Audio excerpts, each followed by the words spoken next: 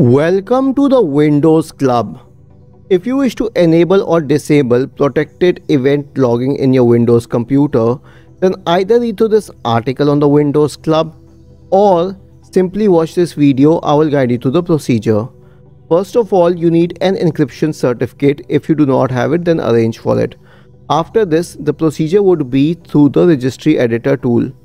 Press the Windows key and the R button together to open the run window. In the run window, type the command regedit and hit enter to open the registry editor window.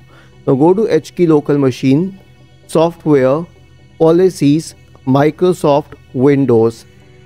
Then copy the name mentioned here which is protected event logging. Right click on Windows, select new key and name it protected event logging. Then in the right pane, you need to create a dword 32-bit entry with the name enable protected event logging. Right click in the open space, new dword 32-bit value and name it enable protected event logging. Double click on it and change the value data to 1. Hit enter to enable the service.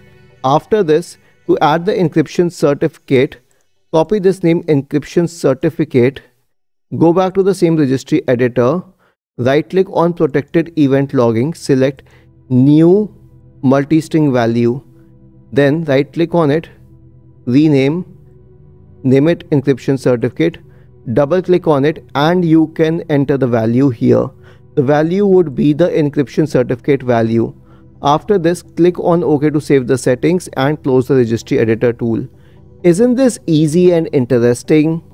If you have any doubts, please go to the original article on the Windows Club, scroll down to the comment section and write your query. We will surely answer to it. Do not forget to subscribe to the channel. Thank you for watching this video and have a nice day.